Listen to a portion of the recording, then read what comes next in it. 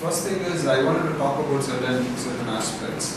When you talk about Scrum, Scrum is, is one of the frameworks that uses agile principles.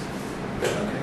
So we have learned about the 12 principles. Scrum is, is one of those simple uh, framework which uses most of the principles uh, that we have learned. Now, if you have to go to a, one place to another place, say for example if I have to travel from Bangalore to Delhi, then I have different modes of transport. Like I can go by car, I can go by train, I can go by bus, I can go by flight, or any other combinations. But each one of these will be in a different uh, advantages and disadvantages. Uh, going by flight might save money, uh, save time, but then it takes more money or something. Similarly, if you have to reach your goal, for example, you are here and you want to build the winning product, there are different modes of development. One of the way is waterfall. That we all know from traditional, which is also called traditional uh, method, we use waterfall to build the product. Similarly, we have Scrum. We have DSDM, XP, Crystal, all these RUP, all these are different ways of reaching your goal. Similar to bus journey, train journey, driving the car, or even walking. Each one is a is a way to reach your goal. Now, what we are trying to do is now focus on one of the frameworks, which is just Scrum. So I'm going to explain you the, the Scrum framework. How is this uh, applying the agile principles and what this framework looks like? How does the workflow happen in, in the uh, Scrum framework? So, the this. We know that there are customers who are typically like a king or a head of the product. Okay. So he has all his needs and wants. Similarly, there are other people like there could be your team member, stakeholders, market, it could be your competition, it could be it be anybody else. Okay? So all these people have their own needs. So they all pile up all these needs and wants uh, into a funnel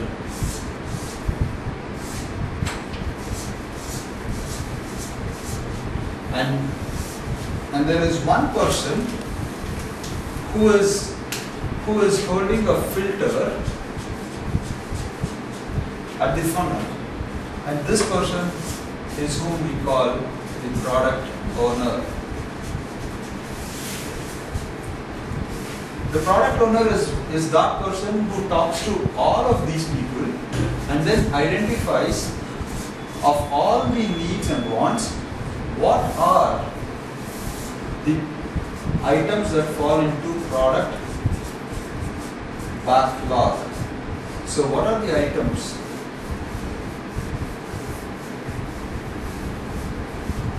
Product. So he, he filters out and let only those items that have value to boil down. Okay. So could this. Now, since this guy is is handling complete requirements here, there's a lot of discussion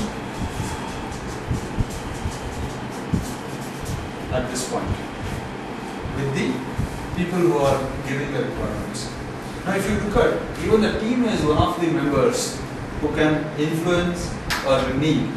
That means the product owner works with the team stakeholders, market, competition, XYZ people, and the customer client to ensure that he has a right priority and right set of needs into the product backlog.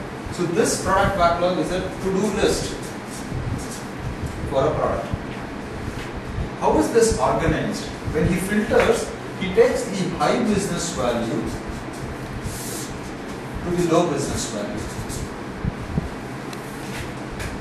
Typically, if the business value is high to the customer, he places it at the top of the stack and as you find low value, pushes it down the stack. Now, if you look at this, everything that is high value have to be ready for the teams to start working. So they have to be small in size and as it goes down, it does not matter. So even if they are like large, it's okay. They could be small, but even if it is large, we don't mind that. Why? Because as we go from top to bottom, we will start churning out more. So this is the, the size. And this one is the value. Now, what happens is this. The teams meet together at regular interval, which is in the sprint planning meeting. So the team has an activity called sprint planning.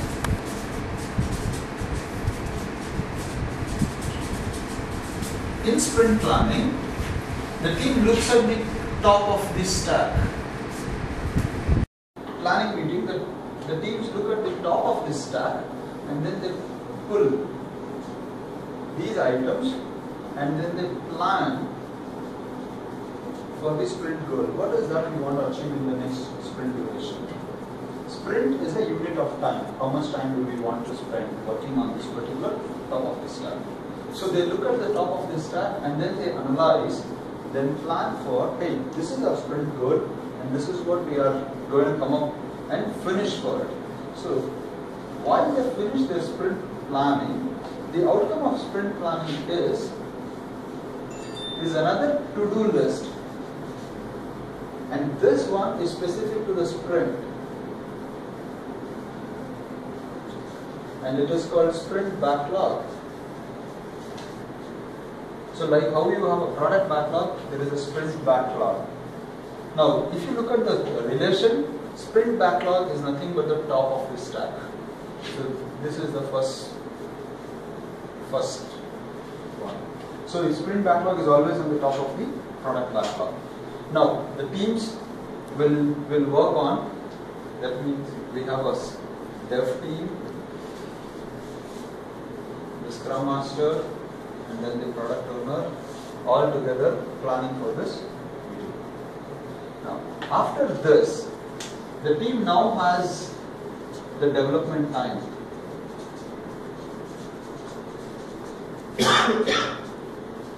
so this was one of the activity where the teams planned for a short duration. Now they have a development time. During this development time, on a day-to-day basis, what they do is they inspect and adapt on the sprint goal. So there is a sprint goal here, which is set so the sprint goal is being inspected and adapted in a ceremony or an activity called daily scrum.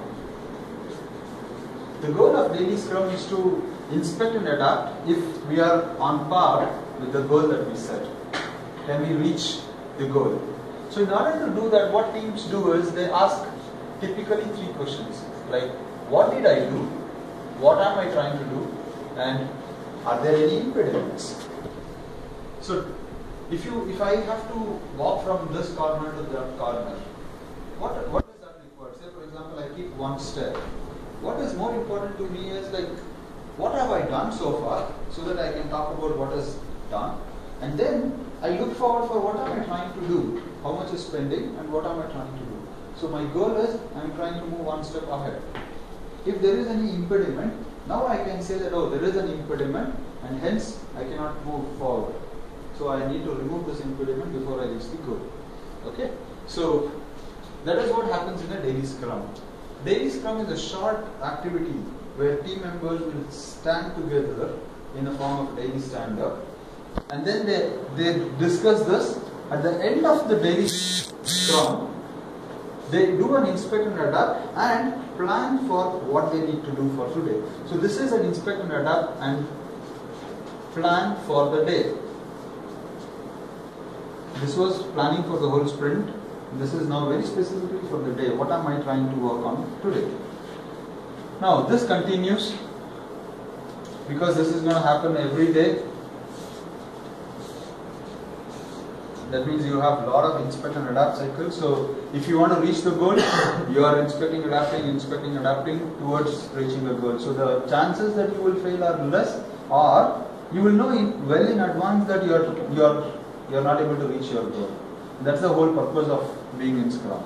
Now, the second thing is after the development time is over. This is this is the time axis. So after the development time is over, teams stop working, whatever they have done. They stop working and then they get into another activity called sprint review. Sprint review is an activity where the teams will stop, they look at what they have developed as per the sprint planning and the sprint backlog that is potentially shippable or potentially deliverable to the customer. So they look at that and have a review of the working software. So the input would be the working software which has high value during the sprint plus the acceptance criteria that the customer wants to see what is that they want to accept on and then the acceptance itself you do a demo of this so one of the way of taking a sprint review is is a demo so typically you do a demo. Once you do a demo, people can actually see the working software and hence they will be able to give you a yes or a no or some feedbacks.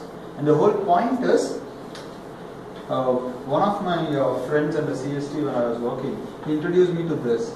If you have a question mark and if it has to tend to a shock, what is the timeline that we expect? As short as possible. So this is the timeline. So if I have an open question, it should be answered as early as possible. If I have an assumption, it should be clarified as early as possible. So all those things that we put in the product backlog is, is an assumptions and the and the imaginations of the customer saying that, oh, this is how my final product is going to look like. So this meeting is, is a demo of the product so that you get a, a response on whether the customer who thought about something is it in line with that. So if at all there is any differences, we can reduce the timeline as early as possible. So in Scrum, this happens every sprint. So you stop, whatever is done, demo it, take a feedback, and then go to the next step. So once the feedback is done, so you have a potentially shippable product increment as part of this uh, review. Now what teams do is, after this meeting, they go to another meeting or another activity which is sprint retrospective.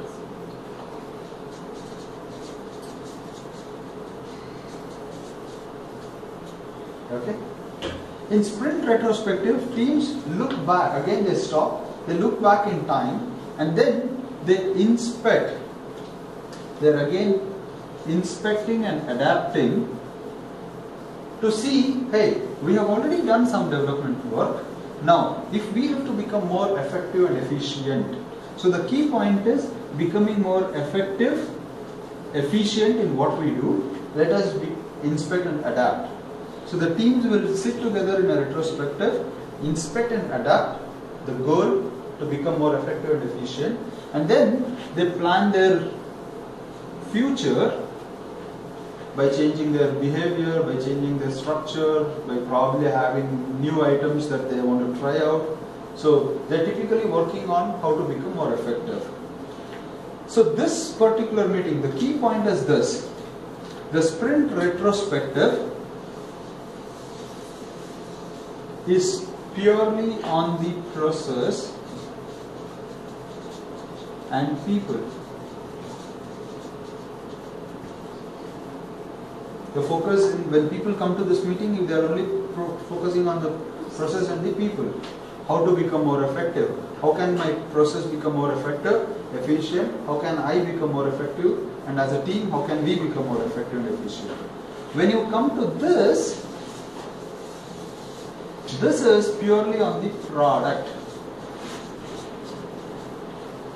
How to make the product better, higher quality, good value. If at all there are any chances to fail, you need to know that earlier. So this is purely on the product, this is purely on the people and process.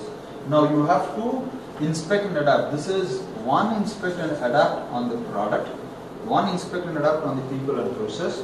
There are continuous inspect and adapt. Inspect and adapt, inspect and adapt.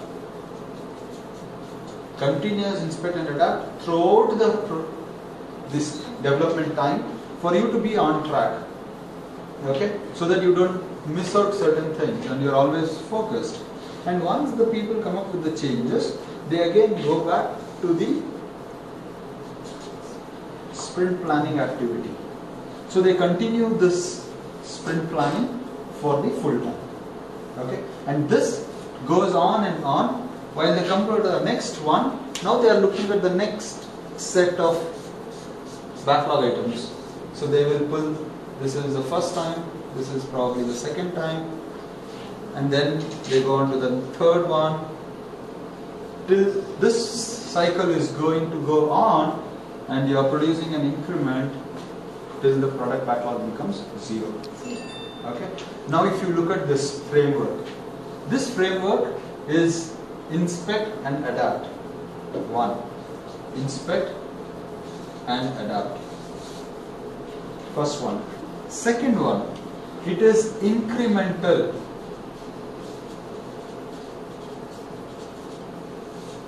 See this, you are incrementally building a product. So it is incremental. Third, it is iterative. Because you are not doing it one time, you are doing all these activities repeatedly till the end. So you are iterating over the process. So it helps you inspect and adapt. While you inspect and adapt, it is helping you build incrementally and iteratively. So you can say the Scrum framework is, is an incremental and iterative framework. Okay? So this is the the Scrum framework. Now if I have to put this into a timeline, let me put it into a timeline. What happens when? So if I draw, uh, for example, if I, yeah, if I if I draw the time, if I draw the time, then this is sprint planning. Sprint planning on the time scale. After sprint planning, on a daily basis, we have daily scrum.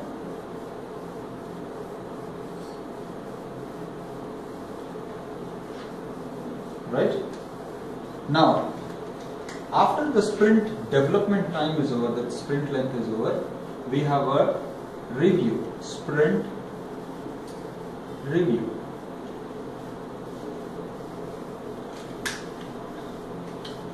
After this, we have a sprint retrospective.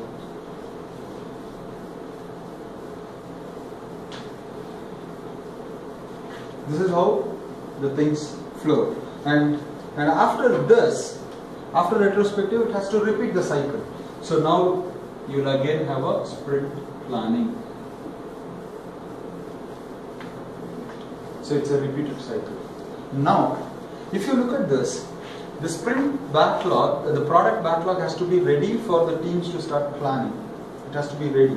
So the team, along with the product owner, works in between in another activity called backlog refinement.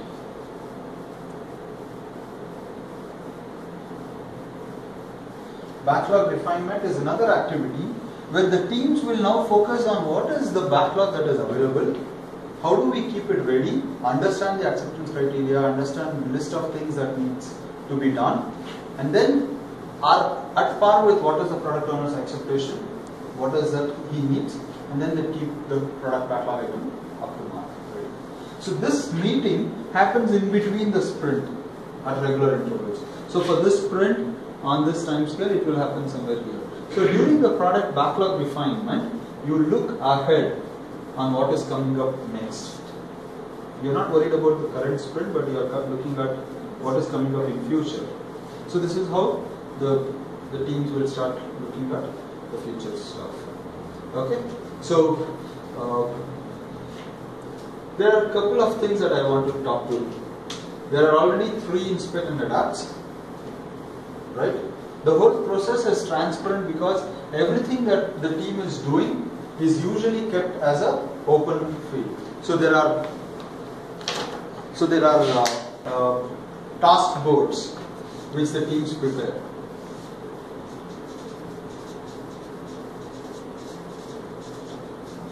So the task board will have the current status of the team. The task board is very similar to how we have a scoreboard in cricket. So the teams see this task board and they get the ability, intrinsic ability to inspect and adapt as they are working. So if the task board is showing them the progress, they get to have that strategic planning on a day-to-day basis to become better in reaching the goal. Okay. So the task board is, is essential and during this planning, what the team do is they have a chart which is what is the work pending and the duration, the time. So they map that as a burn down chart to see that at any given point of time, what is the work that is pending for the team to do. So this is called a sprint back, uh, sprint burn down chart. At the same time, when the product owner is working with all of these people and there is a release, the release is expected to be at this particular value. So what product owner does is, over a time, he looks at what is the value added. What is the value added? And then he starts incrementally doing it. That is, cumulatively accumulating what total value is added. This total cumulative value added is called release burn-up chart. Now I give you a metaphor on this. If you are taking a loan, at any given point of time you want to know how much should I pay back? How many more months should I pay? What is my pending money that I have to pay back? So you are always looking at a burn down. When am I going to hit zero? Okay? Now, with the same bank, if you start depositing money into a recurring fixed deposit, now you are doing a burn up because after every quarter, after every month, you want to know how much your value is added. What is my new value? How much do I have in stock now? So this is value addition. So every time you are getting something added into your, you add a burn up. This is your burn down. So this is pictorially representing the state of the product. Now, who is responsible for this? The product owner. Who is responsible for this? The team. The Scrum Master usually help them create it and then maintain it. But team's responsibility to make sure that. Now, if you look at all of this, where is the Scrum Master? I don't see a Scrum Master. Where is the Scrum Master? He's essentially the team. He's in the team, sprint planning. So this is all the team. And this is a self-organizing, cross-functional team, usually between, say, five to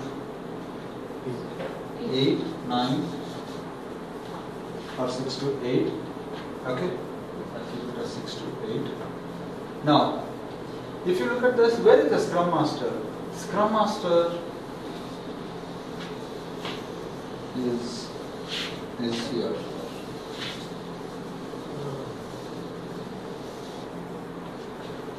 This is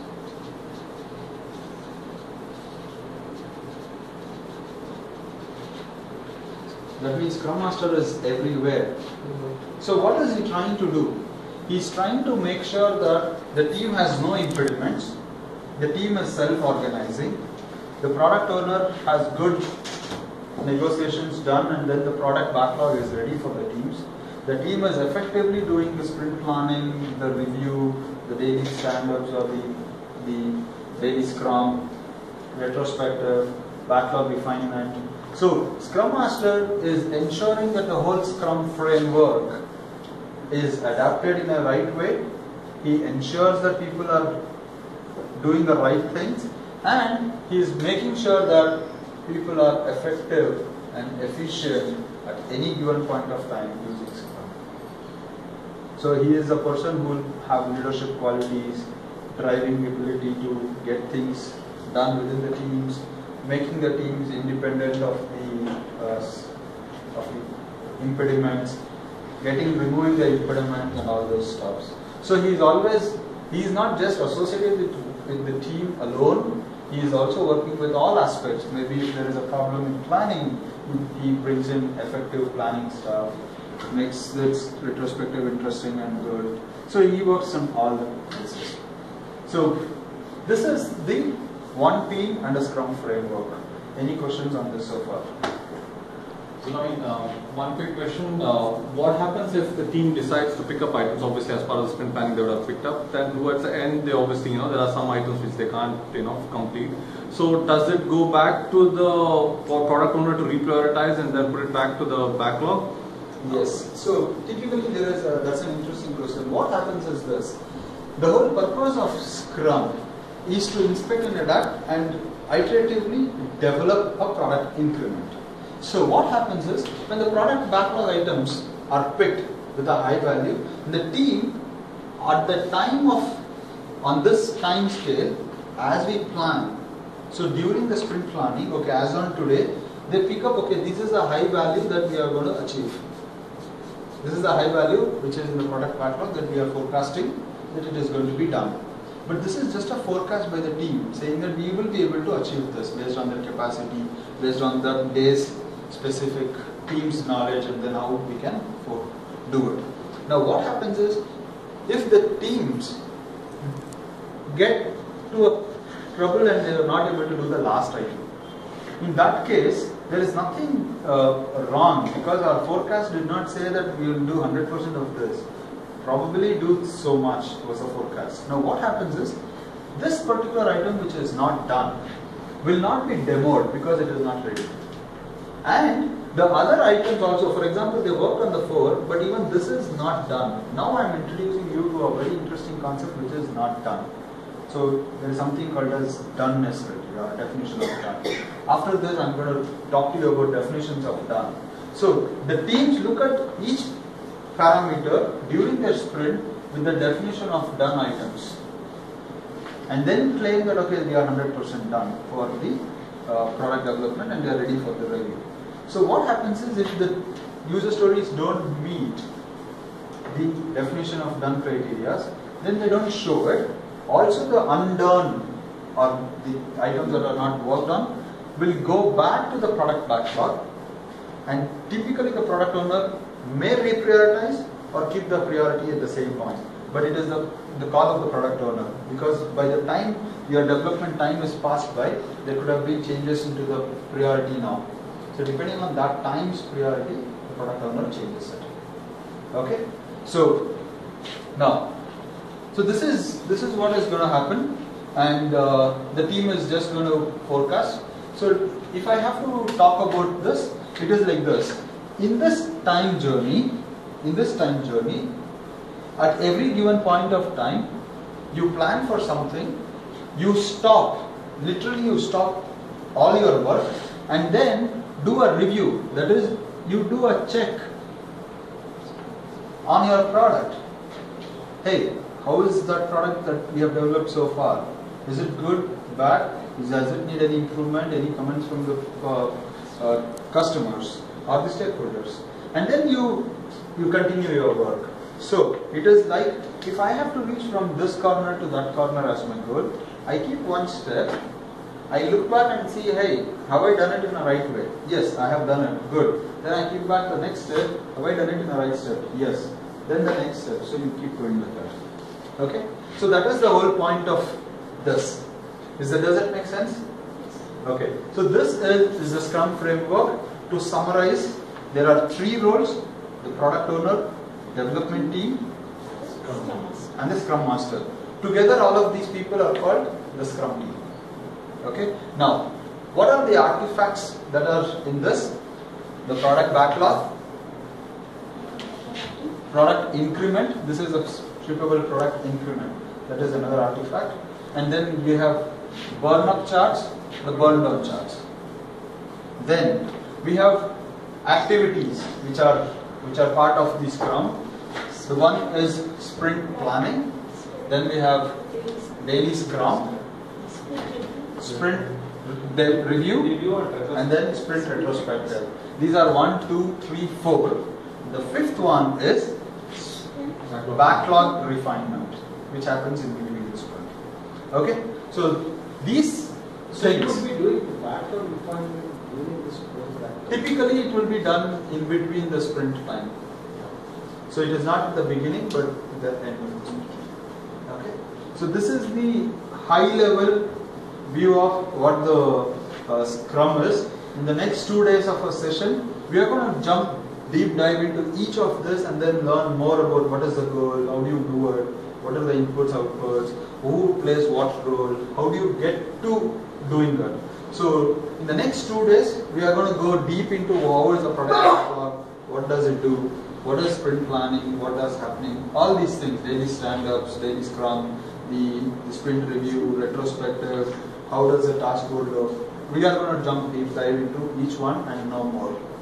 Okay? Okay, team. Uh, now what I'm going to uh, describe to you is a very interesting and important parameters in, in teams while you're working. The first thing is, as a team, you're working on some of the requirements, some of the product backlog items. And the team pulls the product backlog items based on certain criteria. And these criteria are nothing but definition of ready. So these days people have started using this definition of ready so that the team knows that the product backlog item that the team is working on is absolutely ready and they can work on it. So when you say that it is ready, the, the team lists down certain things that make your product backlog item as readiness criteria met. So this definition of ready is why the team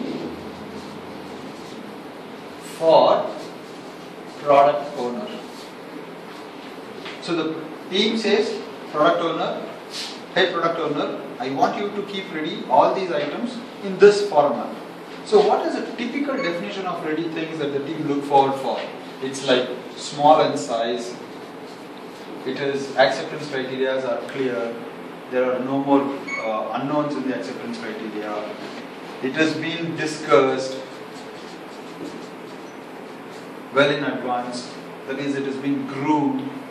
Okay, and then uh, probably the priority is well known. The priority is not changing, or priority is stable, well known. And then couple of other things like the dependencies, risks, all known. Now, now, the definition of ready is by the team to the product owner. Similarly, after the team has done their work, the product owner now says, okay, should I accept or not? So this is called acceptance criteria. Acceptance criteria are those items that make your product acceptable for a product owner. So who defines this? This is by product owner for the team who is working. So product owner says, if I have to accept this, you need to give me one, two, three, done. Or these are the acceptance criteria. So typically your acceptance criteria are related to your functions, functional requirements, non-functional requirements, performance. So it is it is at the product level, what your customer wants as a user. In between this, you know that the team is working working on a one liner that is a product backlog item till the product is is ready. During this period, the team has a set of things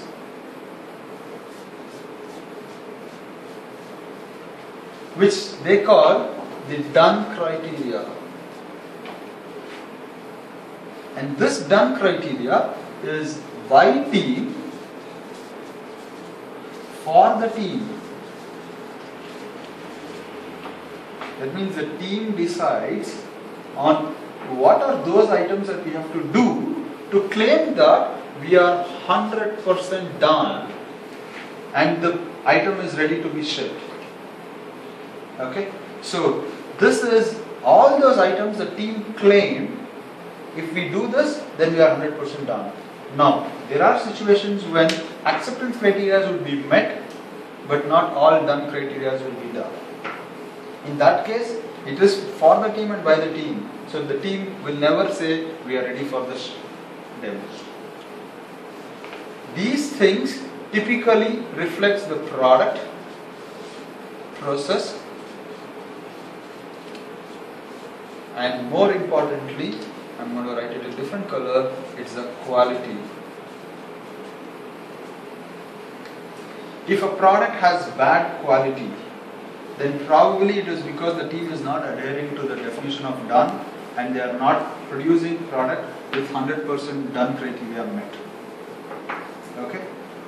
So these are definition of done items and one of the most important definition of done items that I usually say is it has to be no or zero open defects.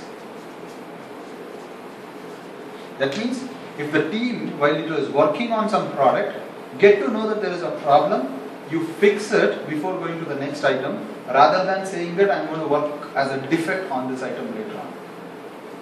So there is no defect open which is seen in the particular story. Makes sense now? Yeah. So it is like are the product backlog items ready? The team asks for it, product owner keeps them ready.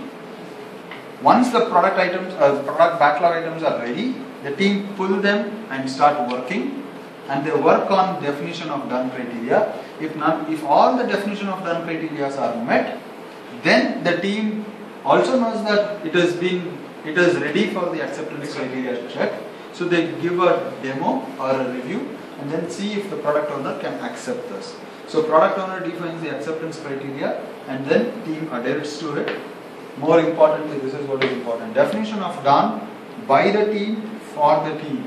And each one is specific to the team. So what you have is definition of done might vary from team to team, but there are certain things that are common for most of the teams at the organization level goals, at the scrum team level, or the sprint level, release level. So definition of done will be to some extent common, but there could be some addition and uh, uh, some upside, uh, more and less depending on the team that you are specifically working on. So this is what I wanted to talk about certain parameters that help you in your Scrum teams be better while you are working on a product backlog items. Any questions on So this? this we done in the beginning of the event, like uh, when you do the product backlog right? So what happens is this: when you are looking at the uh, the whole product backlog, typically you identify the definition of done items way ahead in the uh, Sprint process. Yeah, in the sprint planning. But sprint planning is one of the opportunities for you to openly discuss in your meeting, saying that hey, there is a requirement, and I think for this requirement we have to do this done criteria. So you can edit that during your sprint planning as well. Yes. But once you are fixed on this is what we are trying to do as part of the definition of done, then the team adheres to it. Everybody looks at it. So some of the examples of definitions of done.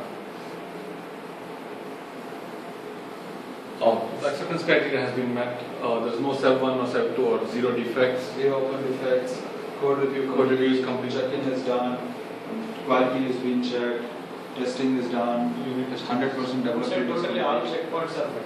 all checkpoints that the team ensures to make sure that the process, product, and the quality are all of the high. So definition of done helps team deliver high quality. product. Yes. It only talks about the high quality. It doesn't talk about the product itself being uh, extremely good because the product depends now on the the skill of the product owner who decides what should the product contain. So I always say this: if you have a good development team, if the product owner gives you a low value requirements, the product team, the, the scrum, the development team is going to pull that low value stuff but do it in a very high quality, that means zero defects, no thing. But when it has been accepted and gone to the customer, maybe the customer might not see the value and the product will go just as a, uh, it's not so good. So the problem now is the product owner not being able to identify the value, but the team has done the excellent job. Now you assume another situation. A very high value, very good product has been there, but the team does not adhere to the definition of done. Their quality goes for a toss. They don't finish some of the items just because the acceptance criteria are met. If they start uh, demoing and then showing the review, then the quality becomes bad. So in the market, the product will fail because of the quality. Now, who is responsible for it and accountable? The team which is working is responsible. So the Scrum team are, are the stake. Okay, I hope this makes sense. So let's go to the next topic after the break.